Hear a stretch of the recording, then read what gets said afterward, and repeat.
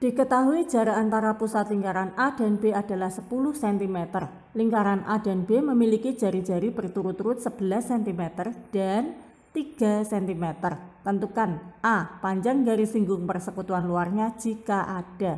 Rumusnya garis singgung persekutuan luar akar dari jarak pusat di kuadrat dikurangi selisih jari-jari kuadrat juga. Kita masukkan angkanya, jarak pusatnya 10 kuadrat. Lalu selisih jari-jarinya 11 dikurangi 3, 8 kuadrat.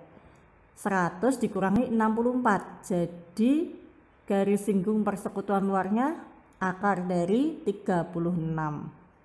Berapa bisa ya? B.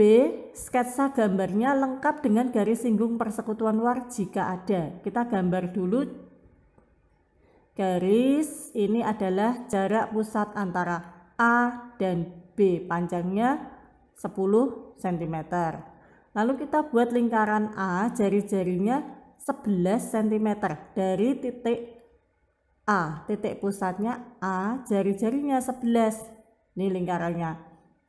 Jadi lebih dari jarak pusat. Jarak pusatnya kan cuma 10, jari-jarinya 11, jadi lebih besar ya. Lalu sekarang kita gambar lingkaran B. Lingkaran B, jari-jarinya dari titik B, pusatnya B, lingkaran jari-jarinya 3 cm. Nih, 3 cm. Jari-jarinya A ini ke sini adalah 11 cm dan jari-jarinya B 3 cm.